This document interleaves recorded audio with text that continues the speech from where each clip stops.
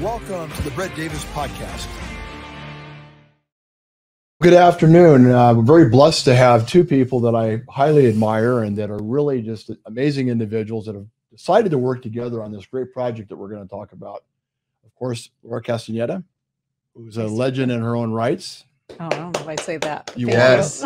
breakthrough in many, many, many, many uh, ways, bilingual, in media, now you with the Union Tribune, and also documentary film uh, expert. Uh, you've been a professor. I mean, we can go on and on. and she's responsible for many uh, careers. A lot of people in San Diego that are in the business always say Laura's the one that got them started.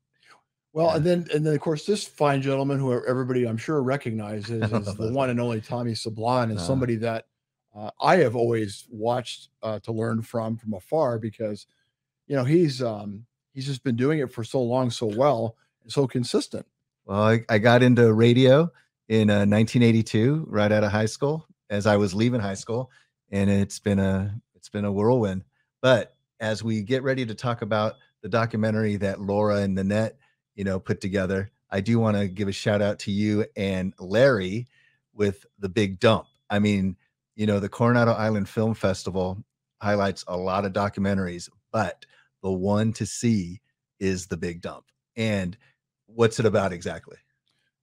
Well, it's not about a toilet, but uh, it It's is about- it is about the ocean and the way it's been uh, desecrated for so long. Yes. and uh, this is a thing that involves, as everybody knows, the story, and a lot of people crazy. I know two people I met in Coronado in the last two weeks didn't even know Yeah. it was going on, and they live in Coronado, right? Yeah. And that's very close to what's going on in in Imperial Beach and the Tijuana sewage and all that mess. And it's so cool that you and Larry and all whoever produced that film uh, have put it together because that's an important thing that is happening right now and has been since 1980. Yeah.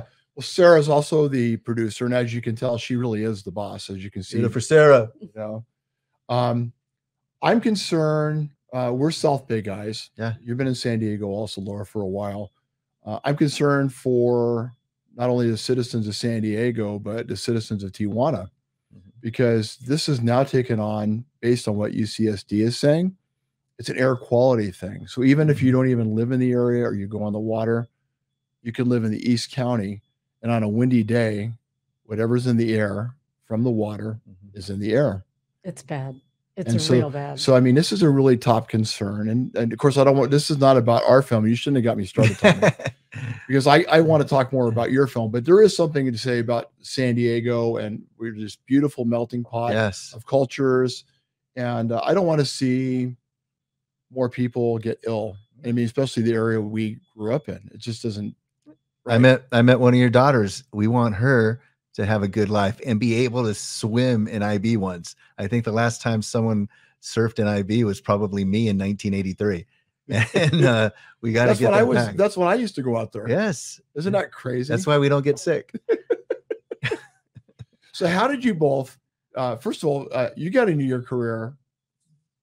What how, was did, how that? did how did you get into your career? Um, You can be honest about this. I was in high school and I was getting ready to ditch school, and I had a guitar in one hand and Caroline Silva in the other, and I was Wow. leaving lunch.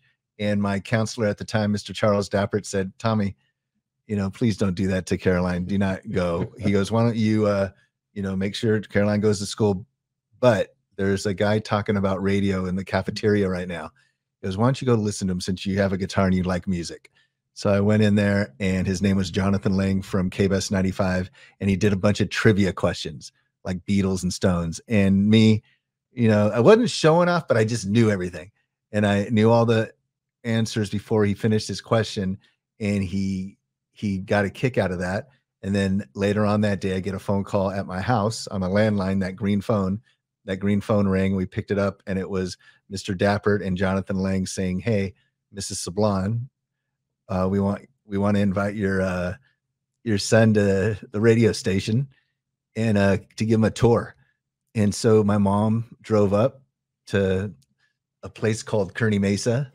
that I, you know, I'm from Chula Vista. I never really drove up the 805. We stopped off in uh, on Convoy Court to KBS 95, and I got a tour. And I've been in radio in the media ever since. And, uh, And this is all in the documentary. by the way. yeah. How long is the documentary? it's just over 20 minutes. Okay. You know, uh, things probably would have been very different had we done what you did for your documentary. You know, sat down, had a meeting about it, sought funding, you know, had Apparently a you don't know how- producer. Apparently, you don't know how we made our movie. Well, a lot of times the best movies are made over a conversation, right? And that's what happened. Um, my students actually uh, from City College uh, back in the day, I want to say like seven years ago, Okay. Were the ones that started the documentary um, at, at my recommendation because what happened was I didn't even know that Tommy Sablan had gone to City College. And I was a full professor, full time professor at City College. And it was always my mission to try to find former students and start what we called a wall of fame, which your photo is still missing, by the way. Mhm. Wow. And um, oh, by the way, you I also went to school there. I didn't Awesome. know that. Well, that's what I'm saying. We would, I would look for them for the, you know, the alumni and just try to have that partnership with the people that were in media, meet our students, come and speak, et, cetera, et cetera. But I didn't know he went there. I was a DJ at KSDS did not know Radio. Jazz 88. I did not know that. And my classes that I took, you know, I was a, a big time scholar. I took typing and running. So, uh, Back in the day, City was the place to, to- go to learn for media. type. I mean, no, for media, for all things media. And so, um, based on some of the posts that I started to see Tommy put on Facebook because we we became Facebook friends, I was like, oh my gosh! First of all, I didn't know he went to City, and second of all, this guy has an amazing story. So I asked to meet with him. To, we had a cup of coffee in Chula Vista, and we started talking about it. And he was like, "Why me? Why me? Why are you interested?" that is in a me?" trip. It, it still is a trip. That's a trip. Uh, And well, because I still say why me, and I think the year was 2016, and uh, I got to meet Crystal and that original group of kids, and uh, we became almost we came we became kind of family. yeah, And then it, the they year, followed you around. yeah, they, they came into my house. I mean, we were the we were the we were the Kardashians before the Kardashians, and uh, we um, but then the years went by, and then a year uh, named 2020 came around Yeah. specifically March 2020, and then the world changed, and then I actually forgot about it, and then Laura uh, called me after you know things settled down in the world, and said, "Hey, remember that documentary?" And I was like, kind of saying, you know, do you still want to do this? I mean, really? And she wouldn't let up, and then she she and Nanette Sosa from the University of Arkansas together they are the ones that completed it along with the new kids No, right? actually, there were no new kids involved. Really? What happened was the new kids at University of Arkansas. Uh, the no, there were no students involved at this Okay. point. What happened was, um, and you can see we haven't even really talked about this, but um, I felt bad the whole time. Like, you know, the kids, when I say the kids, they're not kids, they're adults. A lot of Oh, the students come from all walks of life at City College. So they're not kids, but I call them my kids. Um, um, uh, Crystal Martinez and uh, Maria Murcio, they um, really were the ones that wanted to finish it, but they never did. And so life got in the way, and Sure. they all started graduating. They happens. left, they got jobs. And so finally, I contacted Maria, Murcia, actually, not Murcia, sorry, Maria.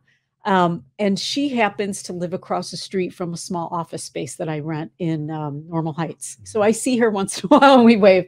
But I messaged her and I said, "Where are? Where's all the hard drives? Where's the footage? Where's the, The lost footage. Where? Yes." And Yeah. so she and I and the other uh, student producer met, and they handed everything off to me, and I could tell they felt really, really bad. Like, "You're going to finish this now without us?" And I was like, "You know what? I feel like I owe it to this guy. I Mm, mean, no, not at all. you don't tell somebody that you're going to do something on their life and then not finish it. So I think I think it might be the time we were we were talking earlier about when we were born, 1964. That period of time, I think there was a lot of um, pressure from parents to do those types of things. Mhm. Not to say that there isn't now, but it just really was. keep your word. You mean? Yeah, Yeah. I, I felt really bad about it. And so another cup of coffee happens with my dear friend Nanette Sosa, who you may remember. Uh, she worked in media here in San Diego in the 90s. Um, she worked at Kogo, then she left San Diego and went to CNN. I mean, she's very Wow. polished. I mean, Wow. very experienced and polished in radio. And so I just have, we're both professors, right? So I mentioned to her about this documentary and how it was just kind of sitting there. And I said, Nanette, you know Tommy Sablan, right? Mm-hmm. You but you don't know his backstory. So I told her that what I knew, and she's like, "Let's finish it." And I said, "Well, there, we have no budget.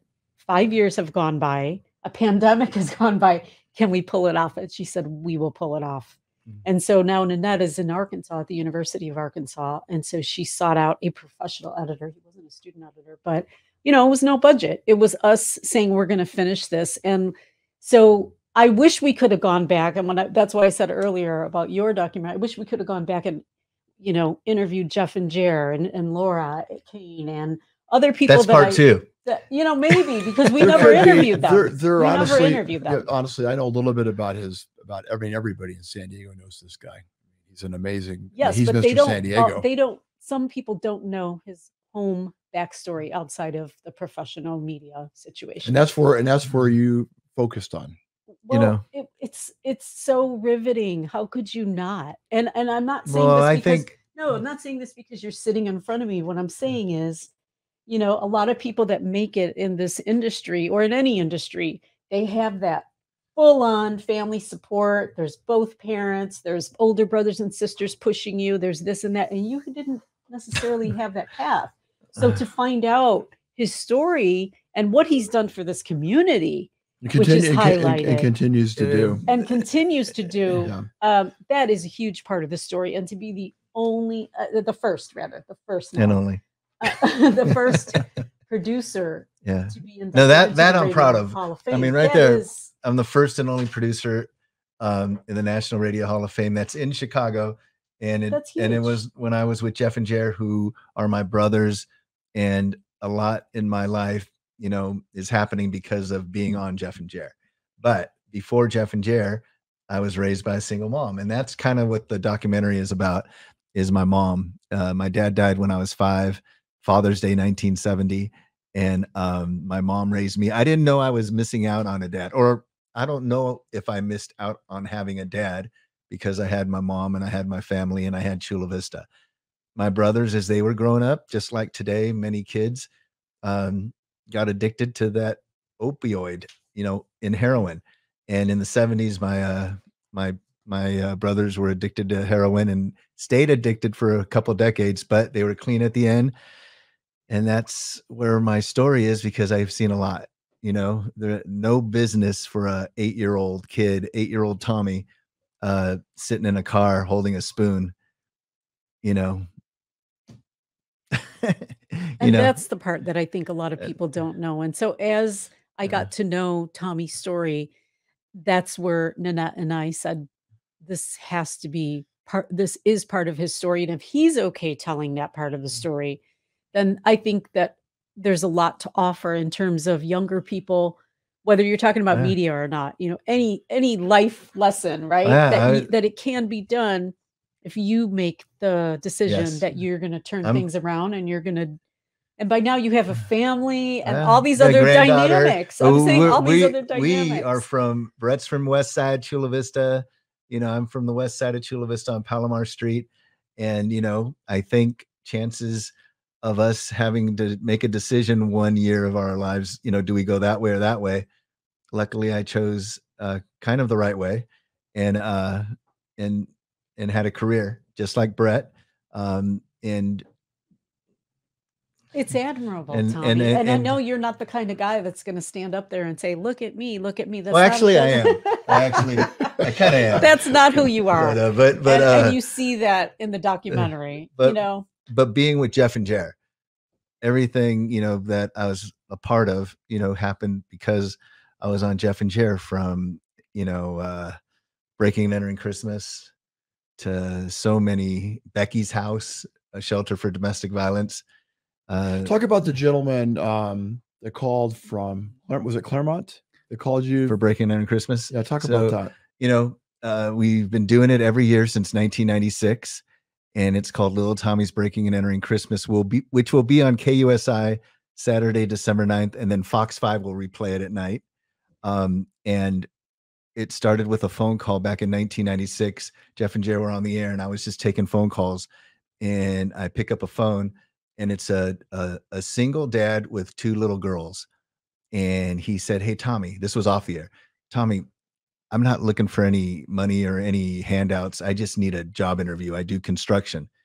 And then I, I said, Hey, would you go on the air? And he goes, Yeah. So he went on the air and said that, that story, and our listeners liked him. And so we got him a job interview on the spot at a construction site. And for some reason, I guess he, he mentioned he lived in Claremont. And when he went to that job interview in the morning, I said, Hey, I, I, I'm going to get my phone that back then used to carry a phone like this, The a cell phone. Yeah, The brick, brick- the brick? yeah, the briefcase phone. And I went to Kmart live on the radio, got a big cart, got a tree, got uh, Barbies, games, uh, cologne, food, a bunch of stuff. And I loaded that uh, grocery cart, put it in my car, and drove to his house.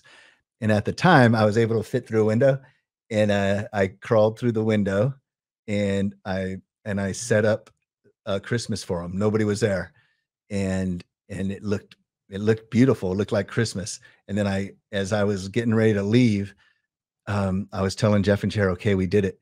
Um, and then I described what was happening, and I noticed right behind me was a on top of the television was a family photo which included a mom.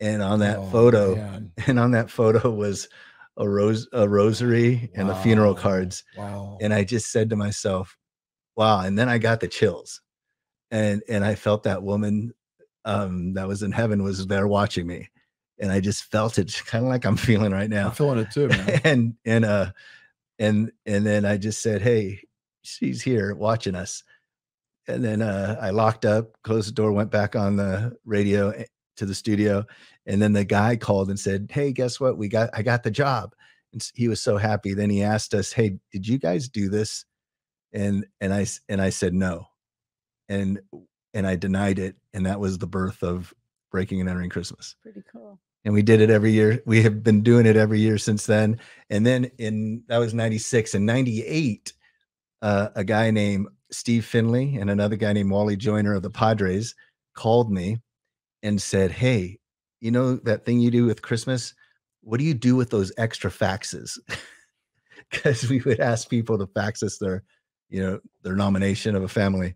And I go, you know, I don't do anything with them. And he goes, Hey, give us those extra faxes you have and Wally Joyner and Steve Finley took care of about 30 families between themselves. Wow. And then that was another arm of breaking and entering Christmas. Today, we do take care of one family on the air, but we take care of at least 60 families off the air with help from Steve Finley still. Wow. And that's He's a good, amazing. good man. Yeah. And um, many other people, many other family, friends, uh, relatives, we all take care of families off the air. And uh and and that's and that's breaking That's a great Christmas. legacy to have. I mean, Uh, really, it We is. were, we were told that that was called the golden rule. The golden rule. It's just the right thing to do. Yeah. Those types of things. You are like, um, let me get philosophical a little bit. He's like a stone in, a- in a very, very chilled, relaxed pool of water. And he was thrown into this community and the ripple effect that he has caused Yeah. in so many lives. And you know what else? I mean, let's face it, when you're in media, it's usually the anchors, the reporters, the hosts Mhm. that get all the fame and glory Mhm. and, you know, attention. But it's the producer behind the controls or the third person Mhm. that doesn't. And so you had something that sparked these older Mhm. guys that they No. liked you. You were No. funny. You were Uh, something. it was um well back we started on the radio back on May 3rd, 1988. The original lineup was Jeff and Jer, Ashley Gardner doing news and and Hank Bauer, one of my favorite Chargers of all time. I do. It was it was there it was those four plus me in the background. And then something happened day 1. Um some guy got stuck in the mud in Chula Vista Oh, and uh and they said, "Hey Tommy," or "Hey, what's your name again?" Tommy, and I go, "Yeah, Tommy." They go, "Hey, do you know anyone in that city, Chula Vista?" Hello. And so, um, remember, cell phones weren't really popular then, and so I called my friend Giovanni Sobreros, I guess on a landline, and I said, "Hey, can you get near a payphone and get near that that car that's stuck in the mud?" And then Giovanni did and did a a, a Live report, report. a report from a payphone, and then and that was then they were impressed. And then the next day something happened where they said, "Hey, do you know?" And then I got lucky, and everything they always asked for, I got. And I didn't even know. That's what a go-getter. Yeah, and uh, that's what when then- that one person calls in sick or they're not there and they can Yeah. see that somebody else is willing to Yeah. You know to do it and you did and i mean look at look at everything that happened since so everything from, everything with him is from the heart. yeah you and he know, worked I- hard obviously Well, Well, he I does. mean, it does. But when you, I know? think when you believe in what you do, and you know where you've come from, it's very easy for him to give from his heart because he's he has these life experiences. And not knocking college, um, it's a different type of education. It's very important, of course. absolutely But the, the the hard knocks and the life that he's lived has made him, I think, the great person that he is. absolutely This, is your, tri- I- this is your tribute, by the way. but I do want to say this: the things that I am part of happen because of our listeners and our viewers. Everything that we have done from that human flag in 1991 and, and 9/11 human flag, it, it it was all listener oriented. I mean, I can't believe it. You know, for 9/11, um, 11 days later on September 22nd, we decided to do a human flag Remember that? and um and I got my friend Eric Mabry, who is in marching band. Now he's a, a teacher and you know director of marching bands at Olympian High School. Um, I called him and I said, "Hey, can you chalk up the field? We're going to try to do a human flag." And he goes, "All right." He goes, "He goes, Tommy, for you to do this right, you need about four thousand people to show up." And then we we went on the radio and said, "You know, we want four thousand people. We need four thousand people. Please show up." We're going to do a human flag and send it to New York for those first responders at- at ground zero and, and honor them. And when that morning came on September 22nd, when uh when I looked out there, uh, what we didn't get the 4,000. We got 40,000. oh, it was crazy. And it was uh, everyone was stuck on the freeway. wow. But if you were stuck I on the remember it was- freeway, you feel you felt part of it. And um, we circled. I mean, it was massive. Forty thousand people at at at Jack Murphy Stadium, which doesn't exist anymore, uh, did the human flag, and that was that was freaking awesome. Your uh, music's always been a big part of your life. You said that earlier, and you were in a band, right? I, I grew up, you know, in junior high learning how to play guitar. I right when I learned my bar chords, you know, uh, then I stopped wanting to learn. I go, wow, I can play a full song just rhythm, and so that's why I could never uh, do Eddie Van Halen or anything like that. I can kind of play like Frampton because he's slow, but uh, but I'm, Well, I'm Eddie, more Eddie, chords. Eddie, Eddie is like the Michael Yeah. Jordan of what he did. There's, and you will was the see a lot of these old photos in the documentary saw, about well, I, I've seen pictures of him around Yeah. for, for for many years, and uh, I still remember him with the long hair and the and the and he the, had the keith partridge look Uh, definitely. but but let's go to back to Laura Castañeda. Laura, seriously, but thank you. I mean, this documentary, when they this documentary is yours, and you know it's being screened at the Coronado Island Film Festival. It is huge, a- and we're we're really honored. You know, the, the, the, I love film festivals. I mean, you will see and hear stories at film festivals that you will not see anywhere else, and so that's, you know, San Diego has grown over the years. There's a lot of film festivals now, and um, there's a there's a good number of local filmmakers, which is always great, and it's wonderful to see students you know, Mhm. carrying that Passionate. legacy. Very passionate about documentary films. And it's not easy to do a documentary. It takes time, it takes money, it takes passion, it takes finding people who um, will do it sometimes for the love of the art and the craft. Um, but it's not easy. And it's not easy to get the person that you're trying to interview to be cooperative. Sometimes they don't want that camera in their face, you know? And it's very awkward. It's very awkward. Uh, it can be you know it's it's more than just being a kardashian and letting the Yeah. cameras No, I this, mean, this podcast is kind of awkward. I'm trying to hold my gut in. And s- I said, that camera's right there, aiming right at me. But uh, it's it's you look fine. uh, you do and it's you- know but, letting uh, letting students follow you around for a year i think it was like a year they Uh, followed you around those I'm girls very- and I'm very proud- Vince I'm and very proud of this. Adon and all those other young wonderful students that I'm- followed you I'm very proud of this, and I'm very grateful to Nanette Sosa and Laura Castañeda and all the all those students. But when you talk about the Coronado Island Film Festival, you talk about important documentaries, and I truly believe the important one to watch is the Big Dump.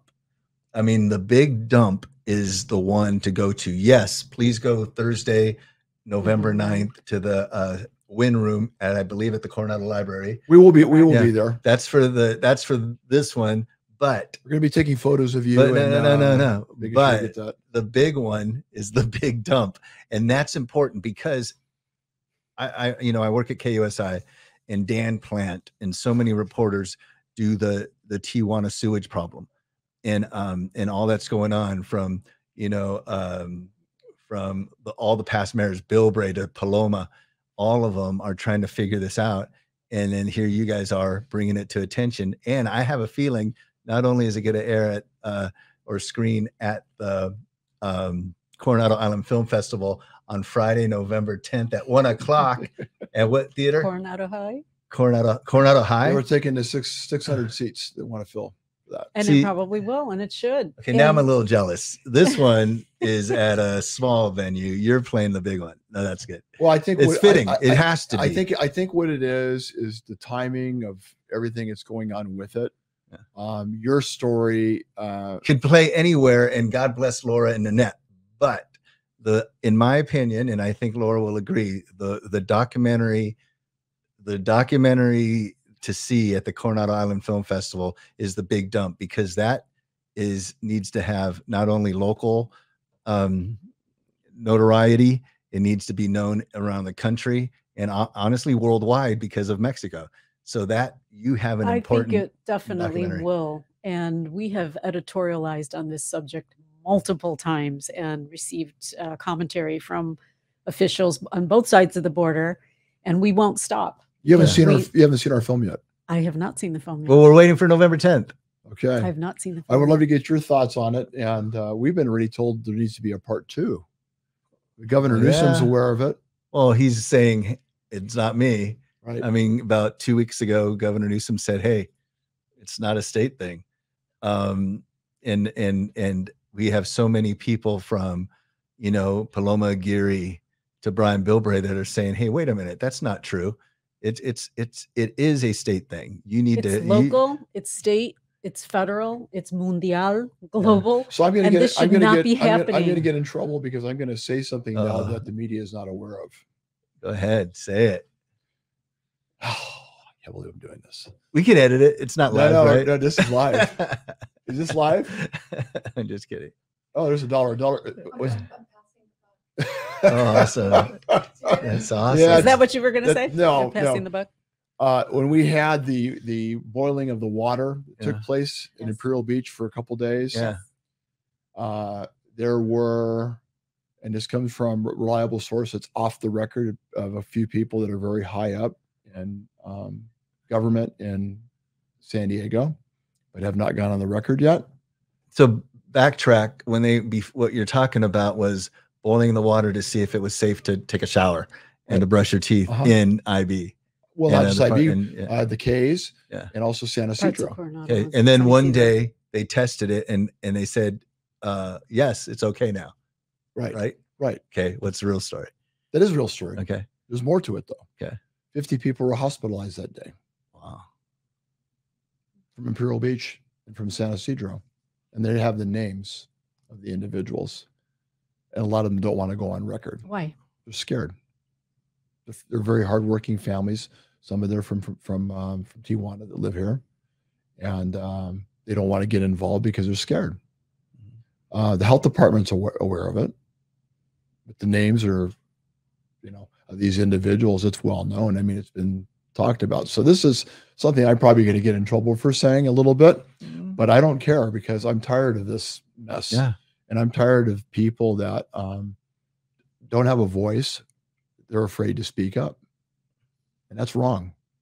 and this is supposed to be this is supposed to be uh, a city. It's a, I mean, I'm not blaming Mayor Gloria at all. This is a state thing. This is a this is the governor. it's a federal thing too. It, it Very is. much so. Well, They someone to needs to- someone needs to call it an emergency. What is it? Yeah, That's- that's that's, that's it. it. It needs to be called an emergency because here's the thing.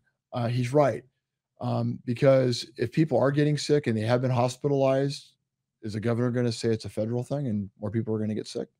Well, there was, you know, there was a, a big story on 60 Minutes also where Navy SEALs were saying that they were sick. And I think they may have, if I remember correctly, may have even filed suit. I don't, you know, don't quote me on that one. I, I it's my understanding. There's a lot. There's a lot more that we're not aware of than that people are not that are not coming out. But and I, I- know, and this is not about my film, and I didn't want to get. I'm just very passionate. Well, I did. about I want to make it about your You're film. getting me fired up because I I just I don't like to see uh, people from our area treated that way. It's not right. The well, this taxes. has been going on too long. well, but it's es- It's it's been going on escalating. It's too long. escalating more and more because now UC, UCSD has said it's an air quality issue, and it was never that bad before. Yeah. It's beyond that now. I went to. I'm sorry. I didn't wanna uh, get in. I this. wanted to. That's important to do. I mean, this is about the Coronado Island Film Festival, right? Right. And it starts November 8th. And this one is on November 9th, but yours is at one o'clock, November 10th, Mm. um, at Coronado High School. That's the important one to see. Please see this one too. yes. But the important one that we need to tell people and they need they're to tell more both they're both important for different reasons. Yours is important because there is an issue for uh, a lot of, and I know them because I hear these stories, and I know you do a lot of work for juvenile hall, and you go and mentor and you talk to the kids over there. I know about that. we Uh, we- did a lot clark bartram um steve finley willie santos gary plummer uh chief brian fennessy uh a few of those friends of mine we uh we have spoken at juvenile hall but i have to admit because of covid in 2020 um we haven't but we're starting to go back good, we're starting to go back good. Let me know if I can help. I would love to be Yes. part of that. yes I really believe in that. Those kids so I- need it. They, well, they Yes. they do, and there's there's a real um high rate of depression, more so right now than there ever has been because of COVID, and and a lot of these kids um are committing suicide too. We have a high suicide rate with that group. That's a very uncomfortable thing to talk about, but what he's doing in his life and what he's gone through, we they need to hear this story. They really do. You know when i do speak at juvenile hall my opening line is hey i'm not a i'm not a cop i'm not a teacher i'm not a counselor. You know i'm just someone uh, who's a younger brother to two heroin addicts. And when i say that then they all look at me. And then they say and i ask does anyone ever has anyone ever heard of uh, heroin? And they all raise their hand. And then right then then i know i have them and uh and then i tell my story and then they believe me because i haven't i don't read books about this and I don't I have you know I didn't go to school to talk about that subject but and they can when you're at juvie when you're in juvenile hall I'm told that those guys in juvie those kids can tell in 2 seconds if you're full of Oh, they can. yeah and if you're absolutely yeah, can. yeah and if and if if you're full of whatever uh they they'll they'll just You turn around. Yeah. but I but I got lucky and the people that I speak with were not full of it. And uh and and they and they see it and and it's all about relating to you know being raised by one parent and and having heroin in my life. And that's why this is relevant more so right now, just as much about the ocean, because there is a lot of unraveling of the world and San Diego going on that needs to be healed. Absolutely. And a lot of times documentary film is the best way to do that. You know, This is a I've been a year. storyteller for a long time, you're but good. I, you're very good at when it. I started, I had to tell a story in a minute and 30 seconds. and now I have a little bit longer to tell stories and doing them in print, writing pieces as well. So there's no shortage of great stories, and not all of them are positive. Not, I mean, No. by that, you're not going to walk out feeling glorious. But I think when you watch Little Tommy, you see this film, I think there's a lot of hope that people will walk away with hope. we need we, we need that right now more than anything else. And with your documentary, I haven't seen it yet. I am going to make it a point to see it, but I hope that sparks a lot of conversation and action because people are tired of this situation. It has been going on in this community too long. Who's responsible for your documentary? Well, Larry Delrose, of course, because um, without him, the funding wouldn't have come up. I mean, I worked on it for three years and lost two directors. Wow. I was going to direct it myself. I had editors, people dropped out. They just they didn't want to finish it. So he's the money guy, but he also has a heart of gold and he loves this community. And I, you know, he does a lot in the community. Well, he's known throughout the the uh, not just here, but Palm Springs, Chicago. I mean, Mr. Entertainment. I mean, he's the guy with a heart of gold, just like then, you. Uh, uh, no, And then I got and then I got to thank um, Sarah because Sarah Sarah put up with a lot of crap, as you probably like can what exactly? Um, specific. l- No, long, just kidding, long, just long, kidding. long- no, long, long hours, long days. Um, you know, juggling the kids yeah, because we have a younger one too. Having to, to logistics, drive people, you know, drive them to school, get them situated. What are the names of your kids? Uh, my oldest is uh, Bon Bon, that's Yvonne, and then uh, McKenna. Then um, Who did I just? Who did I meet today? that's Ma- that's McKenna. What up, That's McKenna? Ma- that's Mackie. What up, Mackie? And then They all Bon Bon's. Bon Bon's uh, uh, Yvonne. She was a chef. She was an executive chef under Deborah Scott. oh, I know Chef Learned, learned from one of the Yeah. best. And then of course Madison. Wow. And so Madison is um, an, already an honor student. She's almost six feet tall, playing volleyball, and probably going to get a scholarship. Wonderful. but you- all these logistic things of having to juggle family plus the podcast run the business and this was a passion of mine just like both of yours was because it's storytelling and it's it's hard to believe there's people in san diego that are not aware of it still You know what you're missing? The only thing missing here, You- honestly, you no, no, no, no, no. The only thing missing is an employee that's from Hawaii that's named after the moon. Do you know anyone? Is there anyone? well there, yeah that would after the moon Oh, it's you have uh, Luna? Luna. Yeah. Luna's here. yeah Just kidding. Well luna luna's luna's has come to us recently um she was from Point Loma Nazarene. By way of Kauai. yes you, you thought you got that story huh Yeah. Awesome program. I taught there. They have a great pro media program. Yeah, they do. They're doing Wonderful. phenomenal. We we are blessed to have some really good colleges and universities and education systems in um, San Diego. I mean, we're, we're great. Who doesn't want to be? How hard is it to get in San Diego State now? Yeah. Right. Everybody wants to come to San Diego. Even, It was though easy to get into doing in the 80s into parties. I got Oh my into a lot of parties in the 80s. I got kicked out of some of those parties. And I just want to do a little plug for the community colleges Yes. because they're under underrated in terms of the the students that they serve as far as the programs that they offer. Well, there's a new program that was Um, just approved by the governor. He did something positive. yes. Is that 150 students that- that are from Tijuana can go to college here, um, all expenses paid.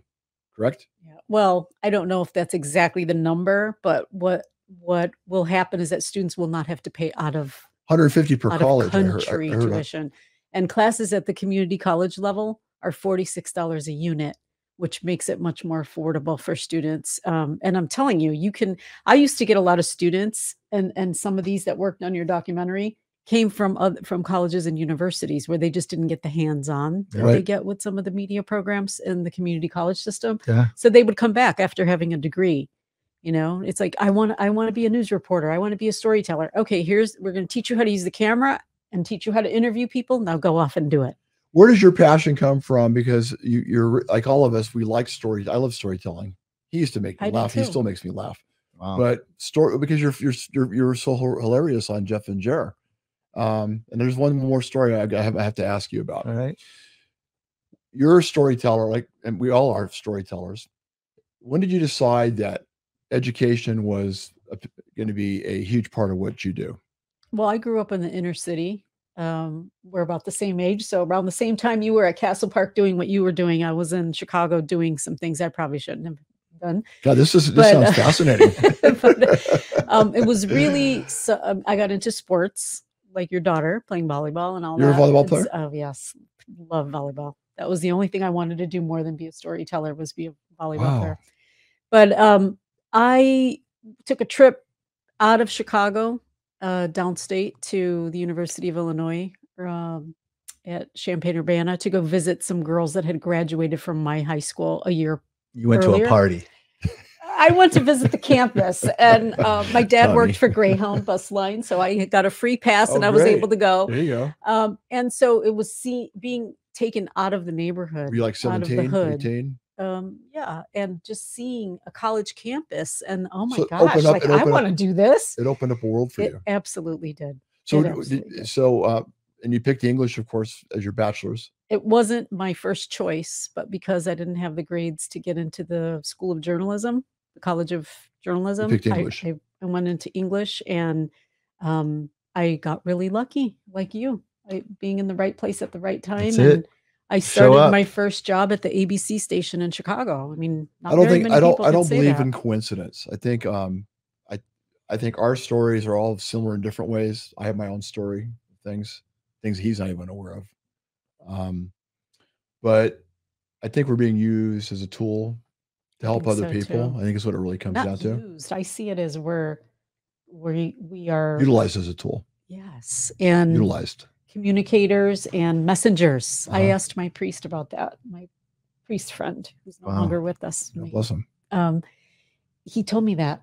He said, You're a messenger. Yeah. So be careful what you do with those messages. And I think there's, you know, media is such a powerful tool, social media, uh, being able to tell a story that you know is going to make a difference, like yours, hopefully will, right? Real difference, real Hopefully, all the work that we do makes a difference. Everything. I think your that way. story giving hope to somebody else who sees and hears about your story and says, you know what, if that little Tommy did it, I think I can do Oh, it. too." that's that's absolutely true. So thank you to Laura Castañeda. Thank you to And Nanette Sosa Sosa. for this one and and those kids from the original City College group. So thank you. Is there a book? Did you have a book you're you know what? on? When I met him, I There's a told book, him right? that. Is the book coming? Uh, I've been uh, I've been asked I've been calling around and asking people to help me with it. So yes, I already have I already have it all in my head. So I have one part of the book I want to ask you about. Okay. Jerry Lewis. Yeah. How did that go down? I when You you hear the you know story, this is this is really cool. Um, when you say an, a name, I can I know their I, phone I, number. I, I know, I know. So that, his phone, it, nu- that- when you say Jerry Lewis, I can I remember 619-233-8456, which was his phone number on the boat called Sam, which was outside the Marriott. And um and he was he just became a friend of the show. Uh he became great friends with Jerry. J- our Jerry C- Jerry from Jeff and Jer. did you go uh, outside his boat and like call his uh, name? We did a few bits. Uh He wasn't the- expecting it. no, one time- and- the one time he was in his boat, we knew he was in his boat. Um, I had a guitar and a bullhorn, and I sang "Dock of the Bay" outside uh, his boat. And I said, "Hey, Mr. Lewis, you know, uh, come on out." He didn't come out, but I left him a note to call us, and he called. And um, and then he became a friend of the show, and became real close with Jer from Jeff and Jer. That's a great story. And there's many, many more like that. Yeah. There was somebody else you had mentioned recently that just passed away that you knew his agent. And he was always this person's agent always was hard to get through. Bob Barker. Yes. Yeah, Bob Barker. I had his home number, and every time he was in the news, I would call, and um, he would always go on. And every time Bob Barker would go on, two hours later, I would get a, a message. Remember those pink message slips? A message at the front desk of the radio station saying, "Tommy, call Henri Bollinger. He is upset. You've got Bob on." And then that happened all the time. And then one year, he told me, "Hey, Tommy, you know what? Bob Barker is okay with you. You can call anytime." How many times did you go through that process without asking his permission? Like 12 but uh but we became friends I All right. I appreciate. I feel like we need to do something down the road again. This was phenomenal. You guys Uh, were just rocked it. You Did you have rocked fun? it. Did you have fun? yes yes I didn't have as much fun as I wish I did because I wasn't there as the faculty advisor. I wasn't there every time the students were out. oh he did you have fun filming. today Oh, today. I thought you meant during the documentary. I'm sorry, I misunderstood. Well, did both. well you, you know I, as i said we we kind of picked up where the students left off. So there was you know with no budget you know how that is you know i we nanette is a full-time professor. I'm i'm not only teach one class online but i'm a full-time deputy editor at the ut so my time is limited. I have children you know how it is. So i wish there were things that we could have done differently with the documentary but we we took what the students did and they did a lot of work Thank and we just tried to make it work with thank you crystal had. right i know crystal Crystal and, Maria and Vince and Adon. And um, without Nanette Sosa, this would not have happened Thank you. because she was adamant about, you know, she knew you from way back when or knew who you were and said, That's a great story. I didn't know about all that other stuff that you're telling me. And we, yes, we should finish it. And we did. So I, you know, I'm happy that we were able to finish it because, like you said, I kept my word. Awesome. and god bless sarah she's been trying to wrap us for the last hour But yes, this, was this amazing took on, today. This, This took on fun. this took on an energy of itself. Thank you both for your your time because your your schedules are Yes. so tight. Um, we've been trying to get together forever. This is like this uh, was fun this is to me is like Thanksgiving. This is great. Thank you, it's like being- Coronado Island this is Film to me- Festival, for To me, this is accepting our like being film. with family. Thank It you. really, it really is. I mean, and there's a really Chula, mean that. Chula Vista connection. Yes. all the way because I live in Chula Vista. too. Happy birthday, Luna. Is it your birthday? Yesterday. Oh my gosh, I got some stuff for you then. You guys are going to miss out on some really delicious. Here's a shameless plug Hans and Harry's. I know that place. It's the place. Everybody take care and remember attend the Coronado Film Festival. Take care and be nice to each other.